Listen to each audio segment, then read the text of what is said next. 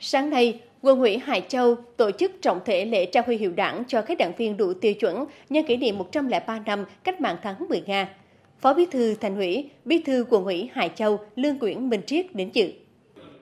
Diễn văn kỷ niệm 103 năm cách mạng tháng 10 Nga của Nguyễn Hải Châu đã khẳng định thắng lợi của cách mạng tháng 10 Nga, biến chủ nghĩa xã hội khoa học từ lý tưởng thành hiện thực. Nhà hết trị vĩ đại của cách mạng tháng 10 Nga vẫn trường tồn bởi thắng lợi đó đã mở ra thời đại mới, thời đại quá độ từ chủ nghĩa tư bản lên chủ nghĩa xã hội. Tại buổi lễ, quận ủy Hải Châu trao 108 huy hiệu đảng cho các đảng viên đủ tiêu chuẩn, trong đó có 3 đảng viên nhận huy hiệu 75 năm tuổi đảng, hai đảng viên huy hiệu 70 năm tuổi đảng, hai đảng viên nhận huy hiệu 65 năm tuổi đảng.